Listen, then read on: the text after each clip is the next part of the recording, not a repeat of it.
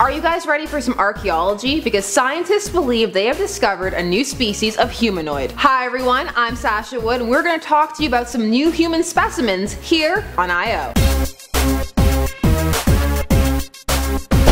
Before we get started, I have to ask you guys, what do you think is the coolest science? Because let's not kid ourselves, science is cool.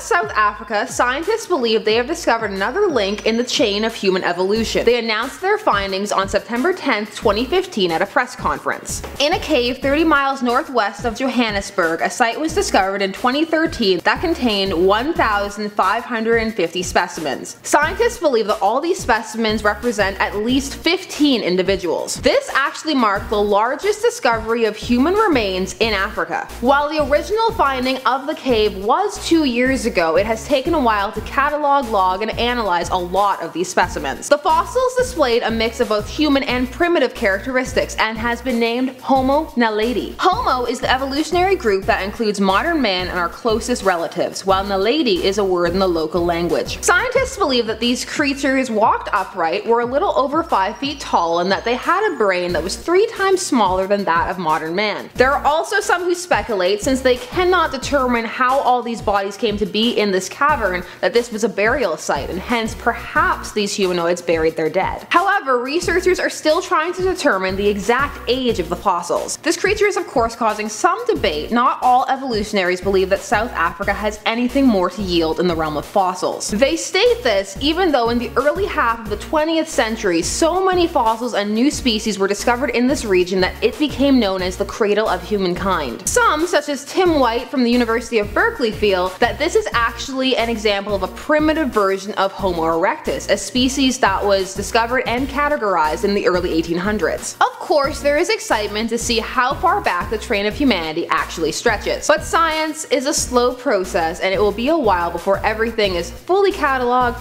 peer reviewed, and ready to be released without any contestation to the public. Decades perhaps, because academia is nothing if not slow. These are of course merely cliff notes. There are far more technical descriptions in the link down below, so please click it and don't forget to like, share, comment, and subscribe for even more videos. Bye!